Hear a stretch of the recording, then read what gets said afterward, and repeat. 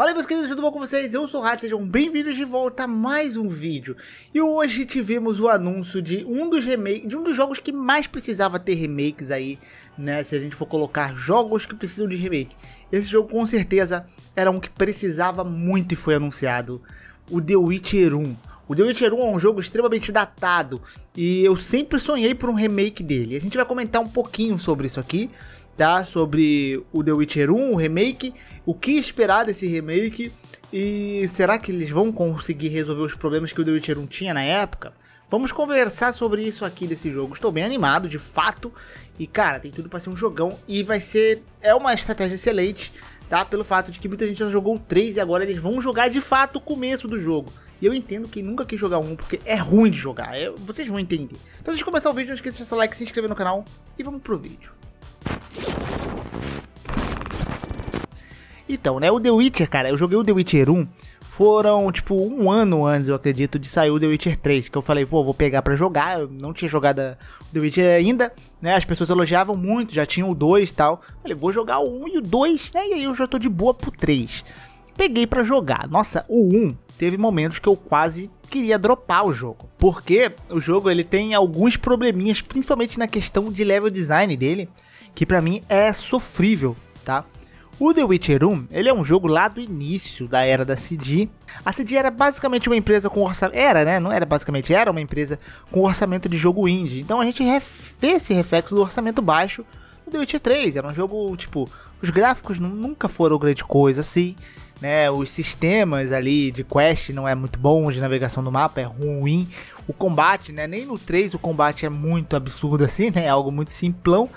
No 1, então, era travado, era zoadinho o combate do 1, tá? E pra vocês terem ideia, eu joguei o 1 lá em 2014 e aí ia sair em 2015 o The Witcher 3.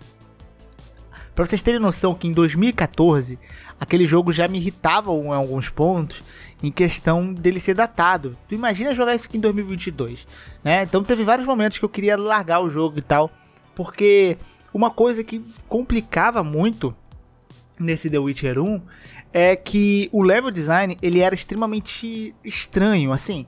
Os mapas eram muito tinha tinha parte, né? Você dividia mais ou menos em capítulos, em atos ali. E quando você chegava na cidade, por exemplo, que tinha junto a floresta, o pântano lá, era sofrível, porque era muito grande o mapa. E você tinha que às vezes ir e voltar lá atrás. E, tipo, você fazia tudo isso andando. Você não tinha um fast travel, você não tinha uma locomoção mais rápida. Então era muito tempo caminhando sem coisa interessante acontecendo. Quando você tá, tipo, ah, vou e volta, quando você vai tem uma coisa, quando você volta tem mais coisa acontecendo. Não era assim, sabe? O combate não te prendia tanto porque também não era muito bom. Então você, tipo, ficava entediado. Tinha quest que eu ficava com preguiça de fazer, porque era muito vai e vem. Aí tinha coisa que você tinha que descobrir, ficava mais ali, né? Tipo, em The Shadows, você não entendia muito o que era pra fazer algumas quests e você tinha que andar para poder descobrir. O que eu não vejo um problema nenhum nisso, mas quando o level design é ruim para você fazer isso, isso irrita. Né? Então você tem que andar, a gente chegar lá longe e ver que não era aquilo, se voltar, nossa, era estressante, né? Fora que você, tipo, não tinha muito atalho, não tinha formas boas de locomoção, nem nada do tipo. Né? Então eram corredores, barreiras que te bloqueavam. E acabava que pelo jogo ser muito massivo, era muita quest, história, né? Ele ficava cansativo por causa do mundo como foi do, do mapa como foi criado. Esse era um dos grandes problemas de The Witcher 1, tá? Fora isso, né, ele tinha alguns outros problemas. Os gráficos não eram grande coisa, o Geralt era muito feio, né, se for ver. Até a gente releva, né, uma empresa de baixo orçamento na época. E o combate simplesão demais, e tinha seus outros problemas, o menu muito feio, tá? Então era um jogo que datou, datou mal. Só que assim, o The Witcher 1, ele tem dá para mim, tipo, falar que uma história melhor que o The Witcher 3. Eu acho maravilhosa. A apresentação de novos personagens, você vai conhecer os novos personagens ali, que a gente já conhece no 3, é muito legal, né? Aquela primeira impressão com, com conhecendo os personagens do que você já tá no The Witcher 3 onde você já meio que conhecia e tal. E quem jogou, quem nunca jogou um, não tem essa sensação do primeiro encontro, né? Do Geralt com o Dandelion, por exemplo. Então, é, é muito legal ver é, esse laço dos personagens. A história é muito bem contada. Tem muitas coisas que acontecem muito legais mesmo na história, tá?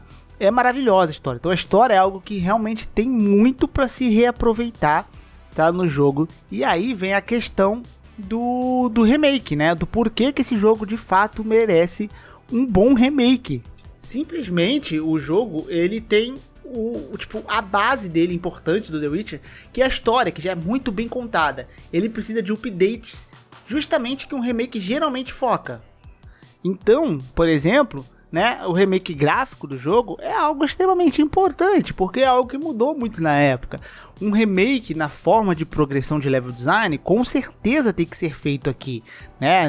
Não sei como é que vai ser a questão do mapa. O mapa de The Witcher 1 e o 2 não são mundo abertos, então eles são mais chatinhos de navegar ainda justamente por isso. Tá? Você é obrigado a andar caminhos ali determinados. Então, tipo, é tipo God of War, né? Um mapa que é um pouco abertinho assim, mas na real você tá caminhando geralmente por corredores, sabe? O God of War tem momentos mais abertos, The Witcher não. Então, né, não sei se eles vão colocar esse jogo em mundo aberto. Eu acho que das duas formas seria interessante. Um remake fiel com um mundo mais fechado, tá? Do jeito que ele era. Se for um mundo agora, um level design bem feito, né? Com fast travels, por exemplo, é legal, tá? Mas o um mundo aberto também, mostrando um pouco mais da visão ampla de The Witcher 1, também seria maravilhoso de se ver. Eu acho que os dois caminhos que o The Witcher 1 seguir, ele tá bem na questão de mundo, tá? Se for mundo aberto, eu acredito que a galera vai hypar mais, para eles vai ser bom. Mas também, se for linear, é aquilo, vai ser. É, vai pegar, vai manter a essência do jogo atualizando o que falta. Os gráficos precisam ser refeitos, o combate precisa ser melhorado também, e a gente precisa torcer para esse jogo aí ele conseguir, né, cair na graça da galera e que ele seja um jogo bem feito. Lembrando que ele não está sendo feito pela CD Projekt Red, né, ele está sendo supervisionado, sendo feito por um outro estúdio e pelo que eu vi, o estúdio que não fez remakes ainda. Mas é óbvio que isso não quer dizer nada, tá? Um estúdio porque todo estúdio que fez remake, tipo a Bluepoint, começou de baixo uma hora, né? E aqui a gente tem pessoas que trabalharam no The Witcher, como a Cid falou. Então tem pessoas que entendem, entendem do processo, entendem da história do jogo. E com a Cid supervisionando, eu acredito que é difícil isso aqui empurrá-lo, sabe? Porque não né, é um jogo que eles já sabem fazer, é o que eu falo. Quando é um jogo que já deu certo e vão fazer mais coisa desse mesmo jogo na mesma pegada, dificilmente ele vai dar errado se ele já deu certo antes.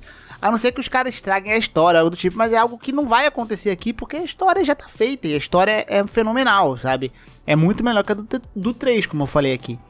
Então, né, o jogo vai receber um remake gráfico totalmente necessário na Real Engine 5. Espero que esse jogo fique lindo, esse jogo tem que ficar lindo, maravilhoso, né? Tomara que ele fique muito bonito, que ele tenha o orçamento certo para fazer bons gráficos, boas capturas de movimento, né, um bom combate, um combate mais realista, tá? Então, é, tipo, é, é, é, um, é quase um sonho isso aqui, porque eu realmente sempre quis ver o remake de The Witcher 1, porque eu sempre quis revisitar o The Witcher 1, mas eu me senti assim, só de eu pensar naquele no trecho da cidade e da floresta que você anda muito e tem uns momentos muito maçantes e a história é comprida demais, e isso atrapalha por causa do mapa, não por causa da história comprida mas juntando os dois atrapalha, eu ficava assim, pô, cara, eu não vou revisitar The Witcher tão cedo, eu não tenho vontade, sabe? E agora, isso daí foi, veio muito bem, tá? Então é um remake extremamente bem-vindo, é um remake extremamente necessário e ainda bem, ainda bem que tá vindo, né? Vamos torcer pra CD fazer um bom trabalho com esse remakezão aí e que dê tudo certo. E é isso, eu fico por aqui, espero que vocês tenham gostado. Um grande beijo, um grande abraço, um beijo no popô e até a próxima.